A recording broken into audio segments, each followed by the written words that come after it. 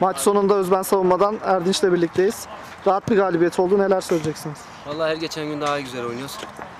Hani gün geçtikçe daha da güzel oynayacağız. Takımda bir sıkıntı yok şimdilik. İlerleyen maçlara bakacağız. Teşekkürler, başarılar.